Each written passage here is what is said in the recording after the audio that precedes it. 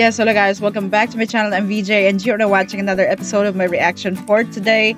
For today guys, I'm going to react on Horizon. And I think it's high time for me to know them well. So I'm gonna have Guide to Horizon. Anyway, I have here from a very familiar uh, YouTube channel. This is from OK Cool. Helpful Guide to Horizon Filipino Boy Group. Let's go, guys. Filipinos are starting to make a name for themselves in the mm. K-pop industry. Yep, you've heard that right. And while it's pretty common to meet international members from time to time, this amazing and talented group is different because, let me tell you, they're proud and loud to represent their country. With seven Filipino members, Horizon is taking the industry by storm. And as mm -hmm. expected, the group is paving the way for more aspiring Filipino idols to take the leap and debut as K-pop idols. If you want to know... Mm, yeah, I think this is the first time that an all-Filipino group is actually debuting in South Korea. Like K-pop and not P-pop, right? And there are a lot of there who have Filipino blood, of course. Unis, they have uh, three of them, uh, Lapillus, and some other groups which have members who are Filipinos by blood.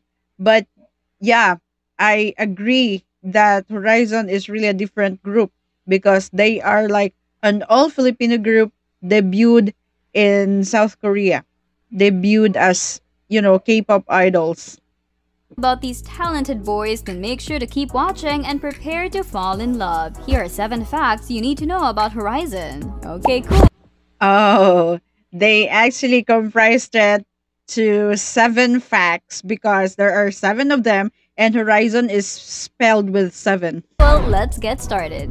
Number 7. Everything mm. started with a dream. Dreammaker mm. is a reality television competition produced by ABS-CBN in collaboration with MLD Entertainment and Kamp Korea Inc. If you've been an avid K-pop fan, you'll probably know how the dynamics work because it's similar to the survival show series such as Produce 101 and mm. Boys Planet in South Korea. To be more specific, it's a Filipino take and it follows the journey of aspiring K-pop idols from the Philippines. With mm. 62 Dream Chasers, the show is there. Ooh, there are a lot of them. That's 62 down to 7 shot to finally make their long-awaited debut as they compete for a seat in a worldwide P-pop group that would train under the K-pop system and eventually debut in South Korea. The first episode aired on November 19, 2022, and the official theme song, Take My Hand, was released six days later and became a sure hit among Filipino fans. As mm. expected, the battle was fierce, and since each participant was eager to show what they got, viewers were treated with amazing performance week after week. In the end, seven were chosen, and the rest is history. I'm pretty mm-hmm. sure you also want to get to know the members one by one. Don't worry, because I've got you covered. Let's first meet I love this. Kyler, hailing from Quezon City. Okay, so the one that I really, really thought that he has actually a resemblance of uh, ASTRO's Chaoonwoo. Yeah, he is actually Kyler. Tyler is known for being an avid EXO. Mm, this is really exciting. I mean, I'm an EXO-L, and he is also an avid fan of EXO. So I think, yeah, we're both EXO-Ls in this sense. So I love Kyler. well, and guess what? Kai is his bias. Ooh. Next is. I mean, I have also known many idols out there who look up to Kai because Kai is the idol of idols. Yeah, I didn't think that one of the Horizon boys actually look up to Kai uh, to Kai also. So that's Kyler. Anyway.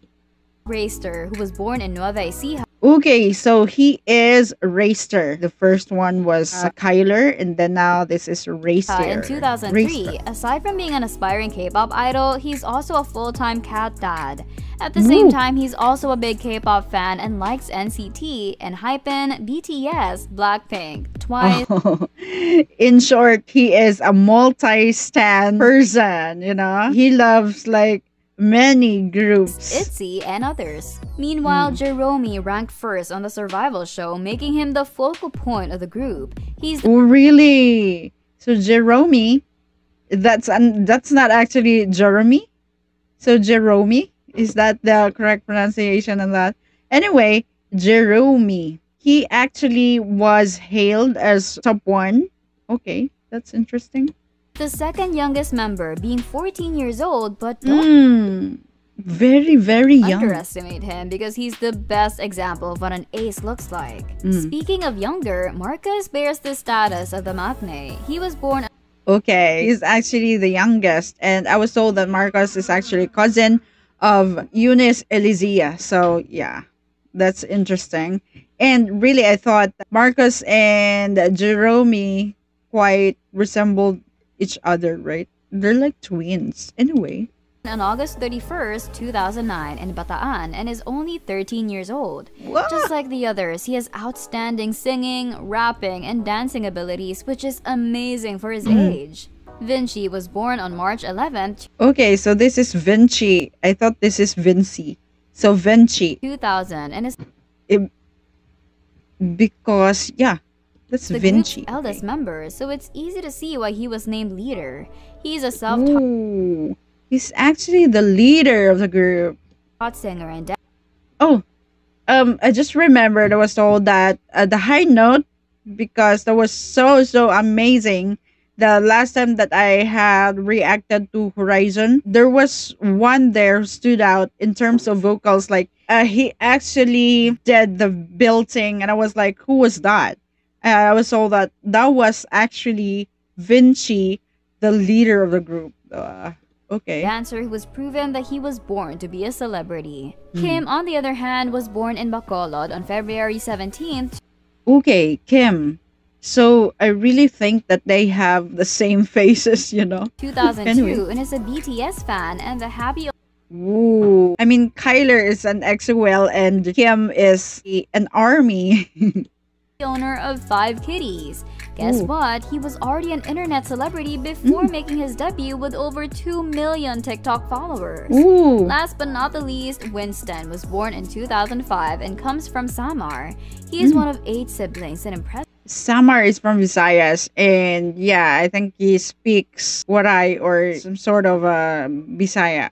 Impressively knows how to read and write in Korean. Mm. Number 6. Anchor.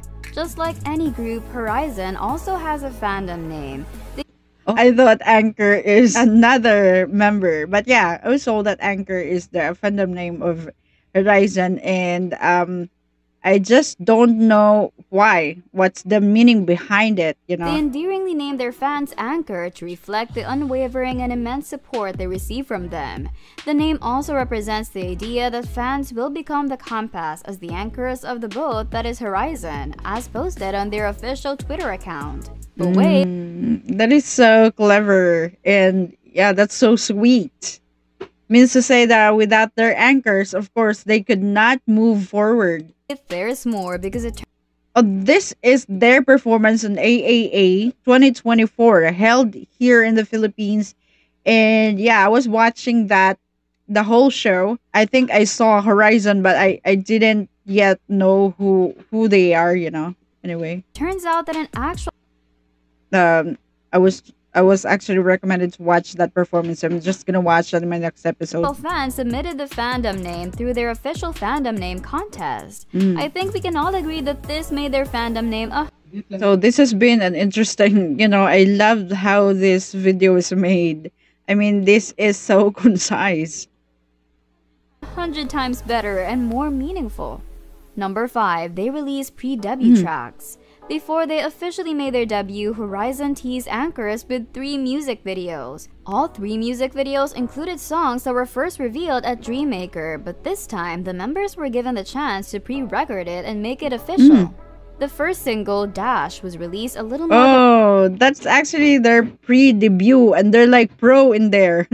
you know, um Dash is actually so so good. I've watched that. I think one of their pre-debut releases is also the Salamat one and I also love that. That's that's kind of emotional.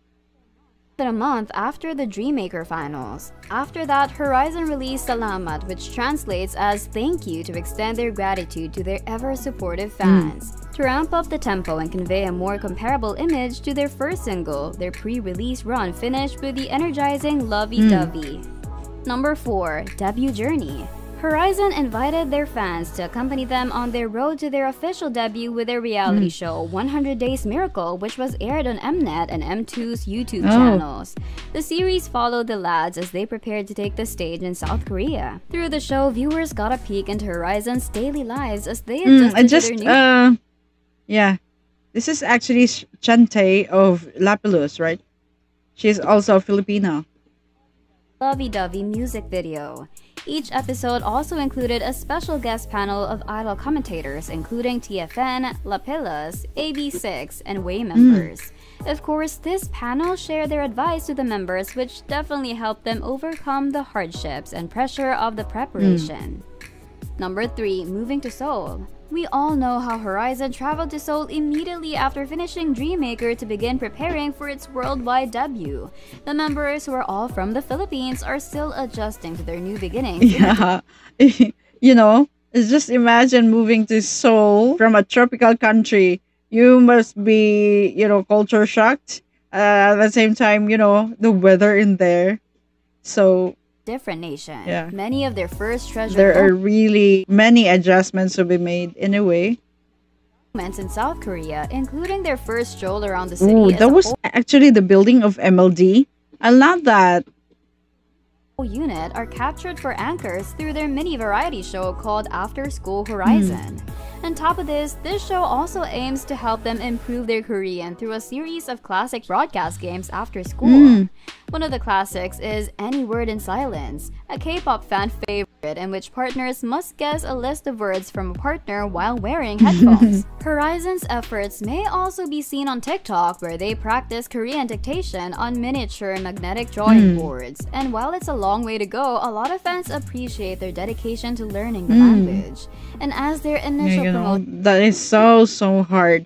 And i'm really so impressed with filipino or even japanese ones japanese uh, chinese who are actually part of k-pop groups. I'm so impressed that they are so good in pronouncing and even speaking the language korean language. That is just so hard even me you know i've watched too many thousands of k-dramas but all I know is annyeonghaseyo and you know like phrases like that.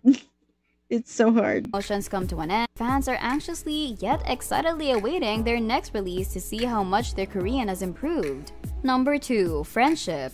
After everything that happened, Horizon finally released its debut studio album, Friendship, Mm. last July 24th, 2023. Through this, Well, I was recommended to watch their friendship um album and listen to their songs. Yeah, I'm gonna watch the, and, and listen to that and you know sooner.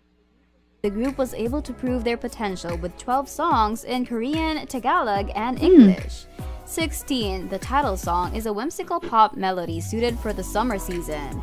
Aside from their amazing vocals, Horizon also channeled a message that encourages their listeners to live in the hmm. moment with lyrics such as I'm done thinking about tomorrow or you only live hmm. once. The reference to the number 16 is about the peak of their youth as they sing I feel like 16, I want to run without hmm. hesitation, and I want to love somebody, follow my heart, feel like 16. Friendship also introduces two subunit singles, How You Feel and Depth or Paradise. They also have subunits. That's cool. Former features the two youngest members of Horizon, Marcus and Jerome, as well as label mate Lapillus' mm. youngest, Taeyun. With the new Jack Swing type tune, the band goes full throwback, replete with baggy clothing and groove-based mm. dancing.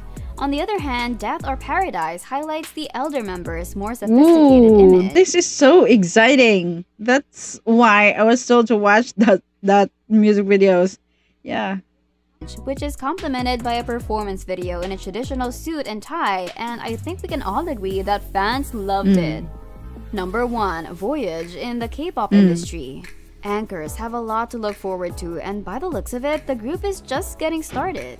Most notably, their debut concert, Friendship, gathered tons of anchors who show their support to the hmm. group. Fans are also hoping the Horizon they had their first. I mean, they had their concert already.